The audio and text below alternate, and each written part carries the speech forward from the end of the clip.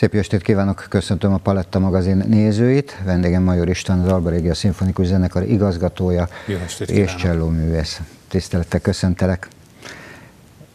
Édesapád egyszer úgy fogalmazott, hogy születésedkor azt szerették volna a szüleid, hogy a zene kísérje végig az életedet. Ez megvalósult. Én azért nagyon is el tudnám képzelni az óvodás uh, Major Pistit, csellosként, vagy éppenséggel ellátogatni a nyolcadik osztályos cselló koncertedre, ahol Elekes Erika néni is ott volt, a Tóvárosi Iskola nagyszerű tanára. Mit szólsz hozzá?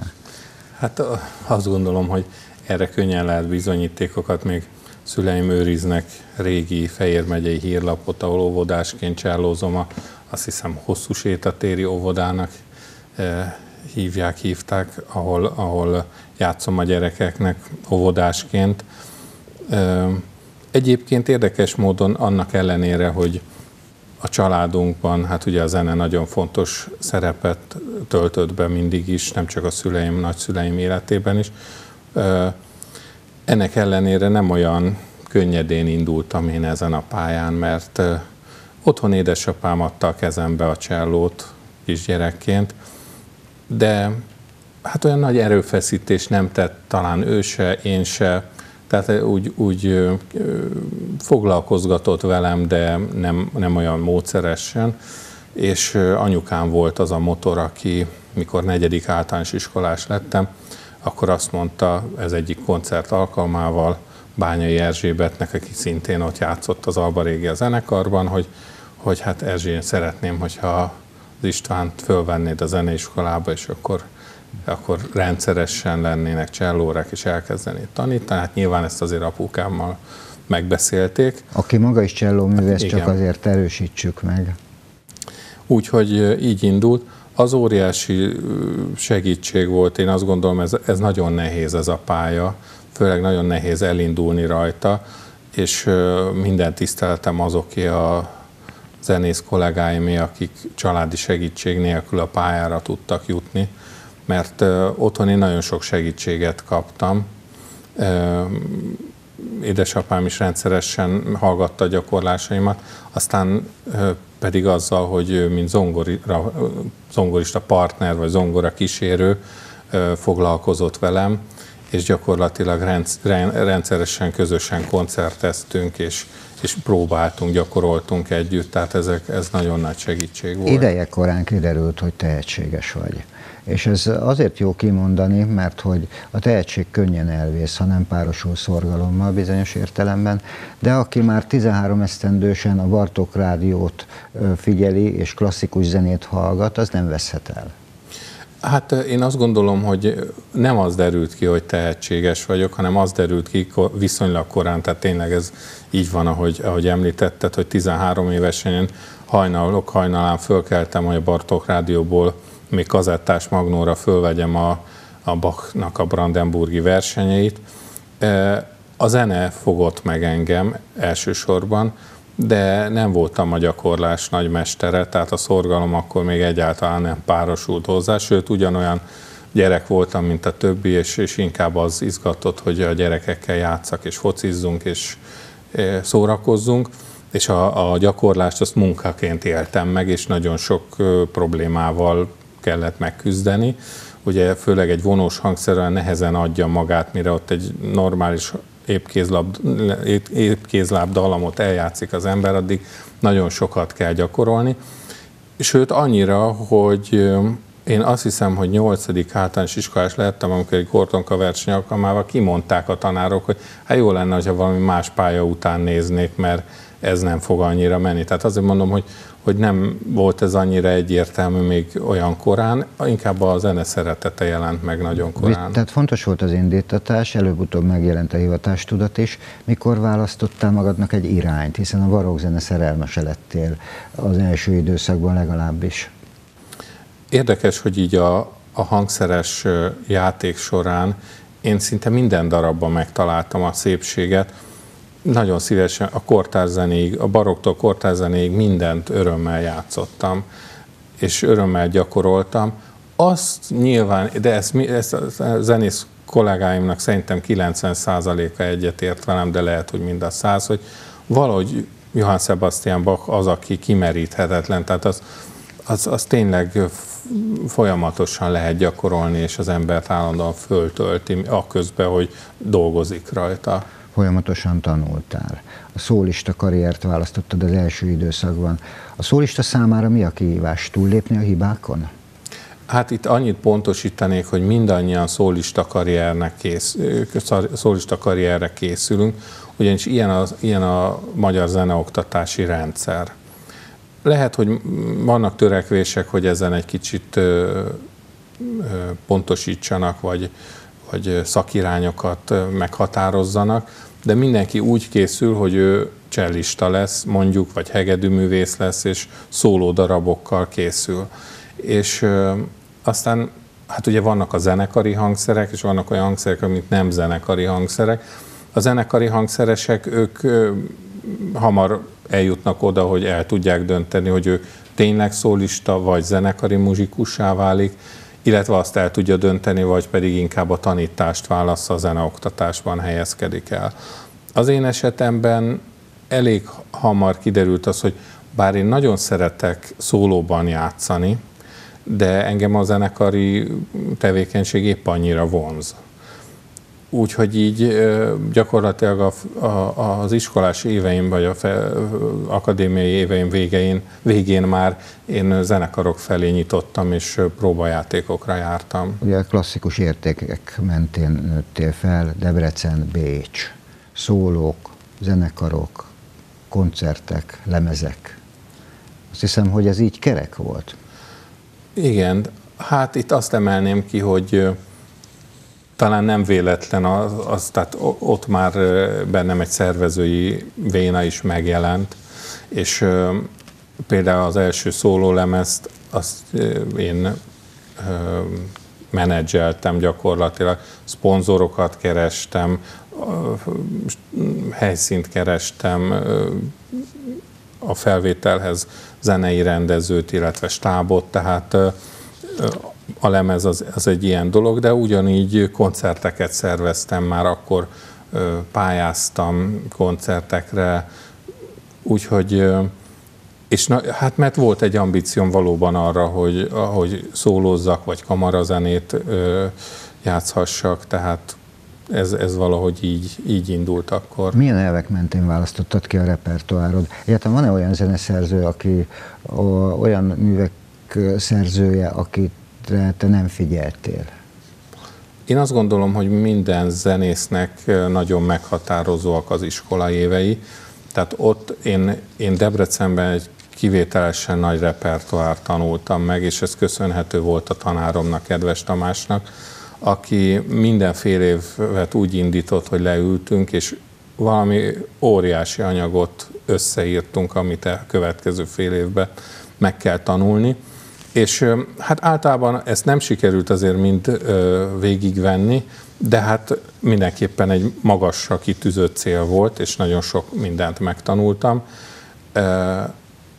De ennek a nagy mennyiségnek nyilván egy picit a minőség az, az kárára volt, vagy tehát, hogy a, a minőséget nem tudtam annyira produkálni.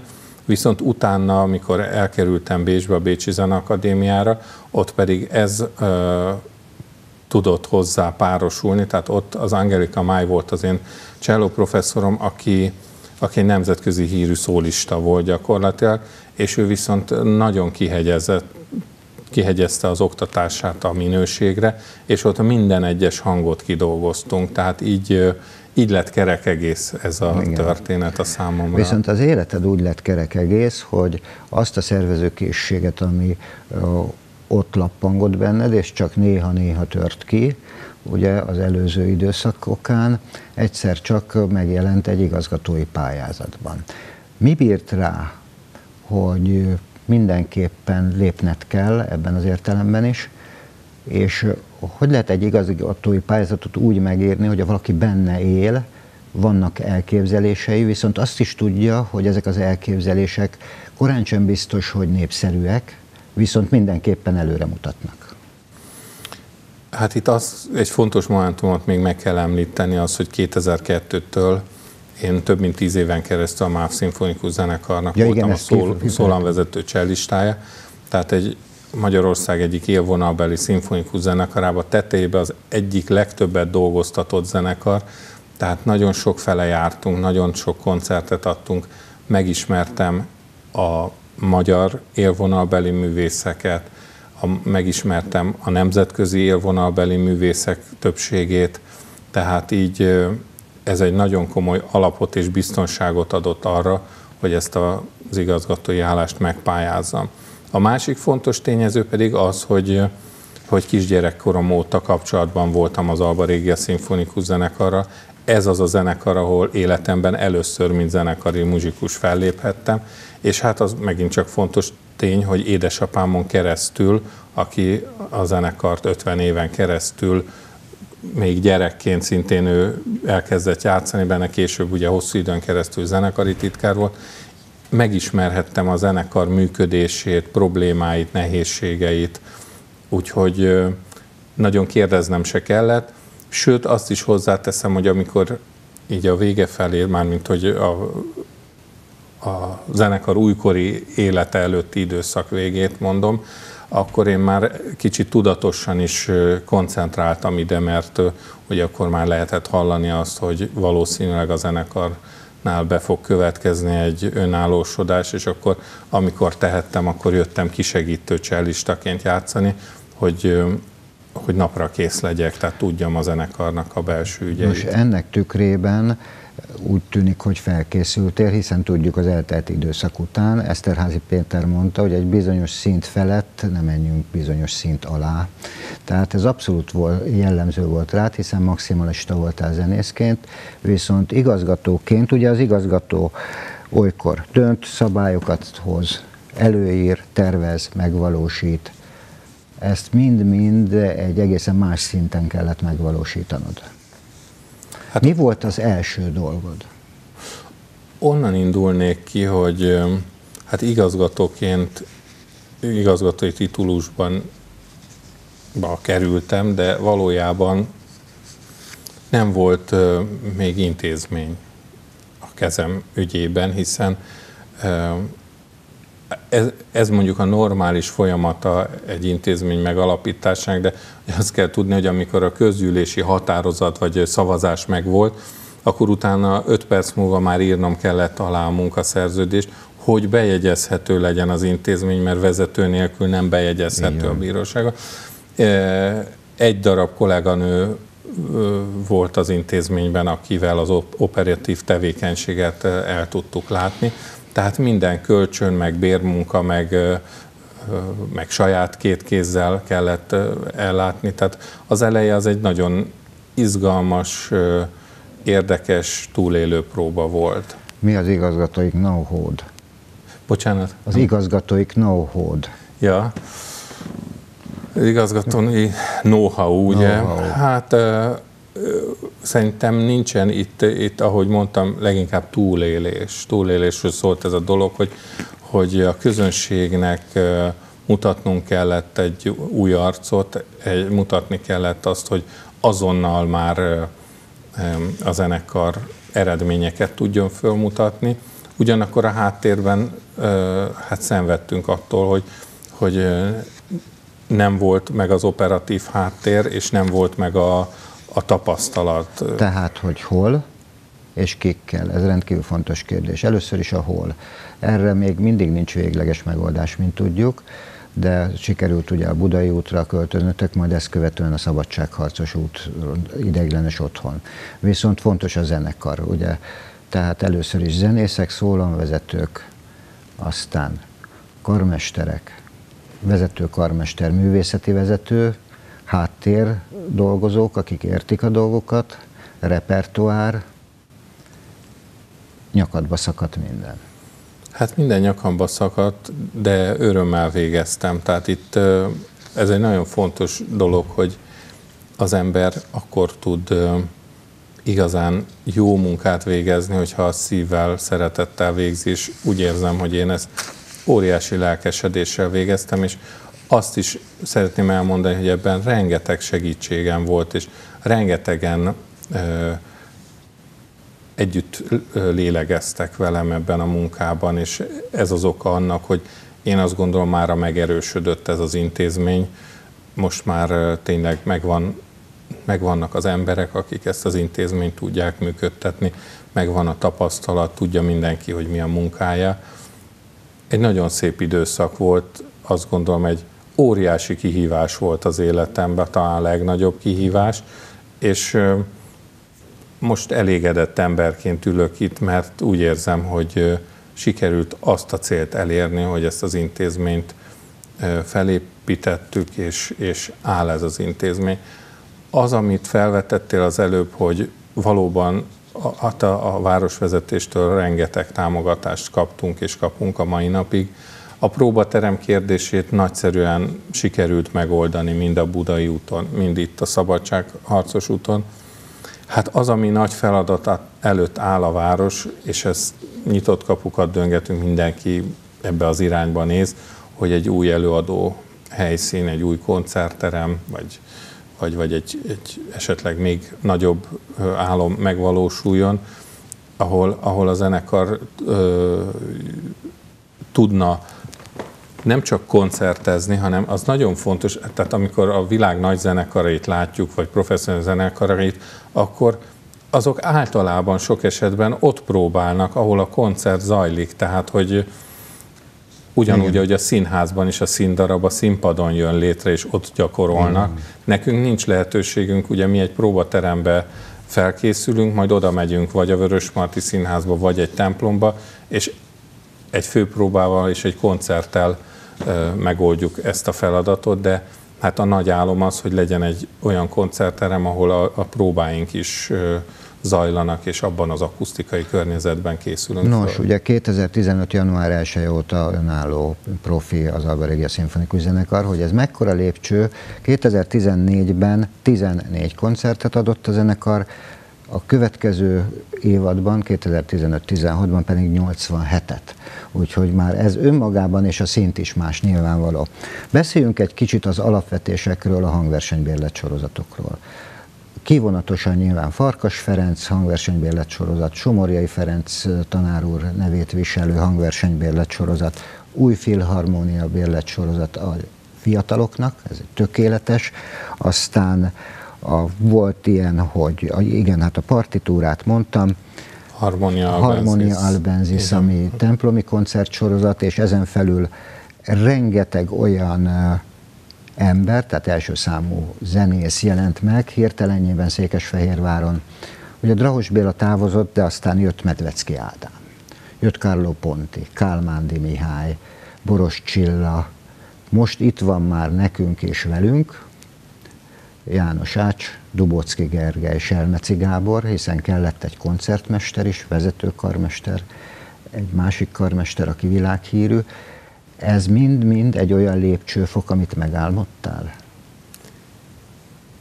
Nem is tudom, ezt így előre az ember nem tudja, de itt inkább azt gondolom, hogy próbálok minden ajtót és ablakot folyamatosan nyitva tartani, tehát hogy lássunk minél szélesebb spektrumon. Felveszem a telefont, amikor csak lehetséges, tehát nem nézem azt, hogy lejárt a munkaidő, keresem a kapcsolatot.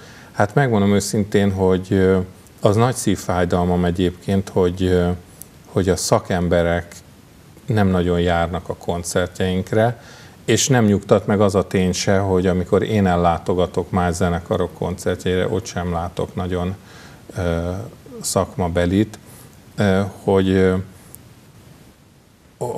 a, ehhez a kérdéskörhöz kapcsolódóan, hogy eljárok koncertekre, figyelem azt, hogy milyen új tehetségek jönnek föl,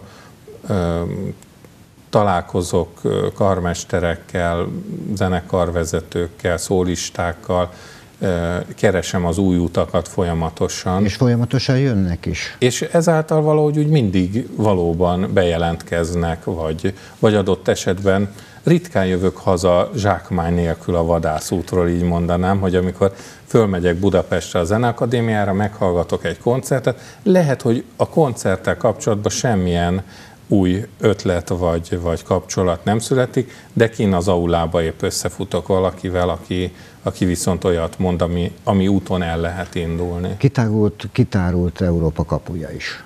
Sőt, először beszéljünk egy kicsit a magyar kapukról, hiszen nemrégiben Donato Rencetti volt Székesfehérvár vendége. Sajnos ugye itt nem tudta vezényelni a zenekart, viszont a Pécsi Kodály Központban egy nagyszerű koncert alakult ki. Hát valóban ez, én azt gondolom, a zenekar újkori történetének egyik kimagasló teljesítménye volt, ami a Pécsi Kodály Központban elhangzott, illetve történt, és egy fantasztikus karmesterrel dolgozhatott a zenekar. Sajnálatos, most nem tudom, hogy, hogy, hogy miért van ez, amikor gyerek voltam, jobban fel tudtak nőni klasszikus zenei sztárok és nevek beépülni a köztudatba. Ma egy ilyen ö, Olaszországban sztárként működő, illetve a világban is nagy operaházakban rendszeresen dirigáló karmester, mint Donato Renzetti, teljesen ismeretlen volt itt a magyar ö, közvélemény előtt, és ugye mi hát felvállaltuk ezt a feladatot, hogy őt megpróbáljuk megismertetni Néha jó törőnek lenni. Abszolút. Bízom benne, hogy, hogy mi mindenképpen akarjuk őt még hívni a következő évadban is, és hogy esetleg más zenekarok is elkezdik majd hívni. Igen, hát én ezt magam is megtapasztaltam, hiszen mikor azt mondtam, hogy a világ egyik legjobb opera karmesteréről beszélünk, majd, vagy ha azt mondtam, hogy János Ács senki nem tudta. Esetleg akkor néztek rám furcsán, amikor mondtuk, hogy a három tenor, Pavarotti, Domingo Carreras, barátja és karmestere, akkor egy kicsit furcsán néztek rám, hogy ezt megismételjem. Mi, mit hozhat a jövő, István? Hát nagyon nagy dolgokat. Szóval... Már is itt van előttünk a Parlami Damore. A Parlami Damore, hát ez is egy, annyit mondanék, hogy ugye próbálunk egy egyensúlyt tartani, létrehozni, aközött, hogy ugye a magas művészet, ami, ami legfontosabb feladatunk, annak az őrzése és az autentikus bemutatása a közönségünknek, de hát azt is ki kell mondanunk, hogy ez egy viszonylag szűk réteg lett, tehát azok, akik a, a magas művészetnek ezt a formáját figyelik, nyomon követik és rendszeresen koncertre jönnek, ez egy viszonylag szűkebb réteg. És vannak olyan programjaink, amik viszont nyitnak a szélesebb rétegek felé, ez pedig például ilyen ez a Parlami Damore koncertünk, vagy egy Valentin napi koncert, vagy egy újévi koncert. Tehát ezek azok, amik azt gondolom, hogy már szélesebb rétegek számára befogadhatóak. Idén szintén Olaszországból érkeznek vendégművészek, a zongorista, akit Denis Biancucci-nak hívnak, ő tavaly is itt járt, ő gyakorlatilag ennek a művészeti atya ennek a koncertnek tavaly is, idén is, tehát azok az olasz számok, amiket ők hoznak, azok, azoknak ő a, a gazdája, így művészi szempontból, és ő hozza a partnereit, két kiváló énekest, akikkel ő kint dolgozik, és most Sanremo-t próbáljuk majd ide varázsolni, a főtérre, ugyanis a Sanremo-i Táncdal Fesztiválnak a legsikeresebb dalait Balga. fogjuk bemutatni,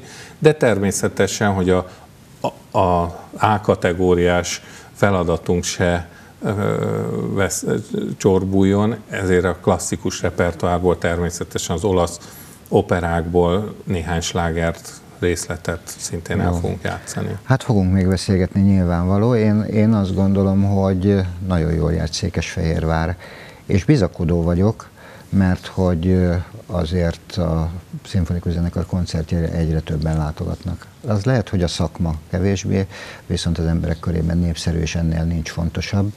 Én azt gondolom, hogy mit is kívánhatnék jó biciklizést, sok-sok kellemes koffeinmentes kávét, és boldogságos, mosolygós szemeket. Köszönöm, Köszönöm szépen, szépen, hogy itt voltál velünk. Kedves nézőink, mi pedig folytatjuk a, a Paletta magazint.